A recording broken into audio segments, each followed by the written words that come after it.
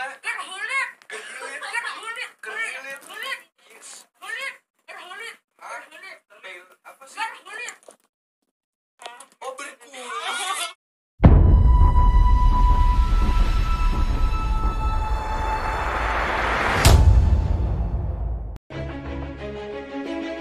fans Natasha Wilona dan Ferel Bramasta apa kabar hari ini? Semoga sehat selalu ya dan dimudahkan rezekinya amin. Kali ini Mimin punya kabar terbaru terkait Natasha Wilona dan Ferel Bramasta. Tapi sebelum lanjut luangkan waktu Anda sebentar untuk like, komen dan subscribe dan aktifkan pula tombol loncengnya supaya Anda tidak ketinggalan info terkait aktris Natasha Wilona dan Ferel Bramasta. Selamat menonton! Marilah kita simak bersama-sama. Bocoran rencana pernikahan Ferel Bramasta dan Natasha Wilona dari orang dekat bikin Lucinta Luna penasaran. Memang, adanya isu rencana Ferel Bramasta dan Natasha Wilona bakal menikah membuat gengnya yang bernama Boys Squad ikut buka suara. Pada awal pembicaraan, Austin Alexander sempat menyinggung soal impian anak Vena Melinda itu menjadi ayah di usia muda. Fakta ini seperti dilansir dari YouTube OPRA Entertainment, Senin, tanggal 28 Maret tahun 2022. Jadi ceritanya Ferel Bramasta mau punya anak cepat-cepat. Soalnya pas melihat Bang Atta punya anak sama Aurel, dia mau. Aduh lucu banget, cari pasangan dulu deh, beber Austin Alexander.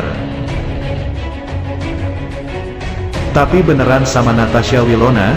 Tanya Lucinta Luna sebagai pembawa acara. Mendengar pertanyaan itu, Austin dibuat semangat dengan membocorkan hal menarik.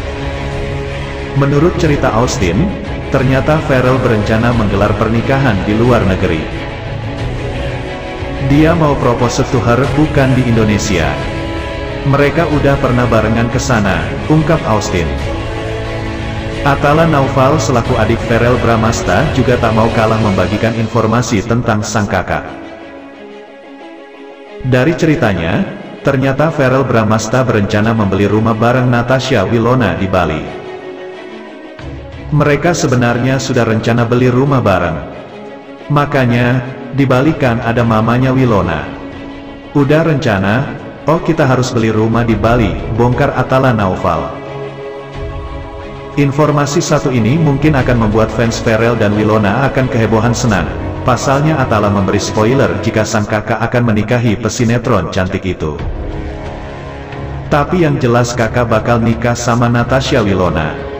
Ya pokoknya kalau enggak nikah, parah ya, tandas kekasih Shannon Wong itu. Jagat dunia maya baru-baru ini kembali diramaikan oleh netizen yang memperbincangkan pernikahan salah satu staf khusus Presiden Joko Widodo, Ayu Kartika Dewi pada Jumat, tanggal 18 Maret tahun 2022.